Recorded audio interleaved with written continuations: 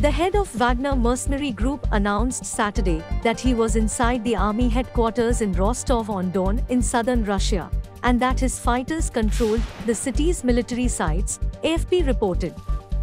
He earlier said his forces had crossed into Russia from the Ukrainian front, vowing to topple Russia's military leadership, saying he and thousands of his fighters were ready to die. Russia's military headquarters in Rostov-on-Don are a key logistical base for its offensive in Ukraine.